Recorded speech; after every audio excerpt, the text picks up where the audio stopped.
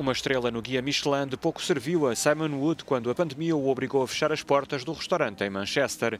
Mas o chefe britânico vencedor do concurso Masterchef em 2015 fez apelo ao engenho e pôs mãos à obra para poder continuar a exercer a paixão e manter o negócio. Wood propõe nomeadamente uma versão takeaway do menu de degustação do restaurante premiado. Estamos a apontar para o mercado corporativo. Se um patrão quer agraciar a sua equipa de 12 pessoas, temos um menu de três pratos num serviço de entrega em casa que lhes permite estar juntos através do Zoom em vez de numa festa do escritório.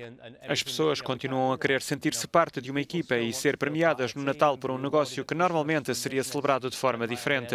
Mas atualmente não se pode usar a hospitalidade para celebrar.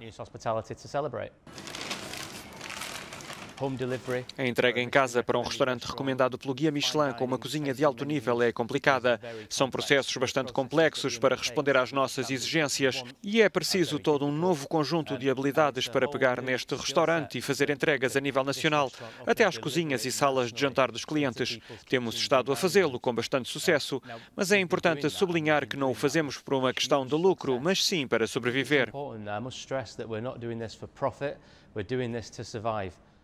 O outro espera que o governo britânico levante em breve as restrições no que diz respeito ao setor da restauração.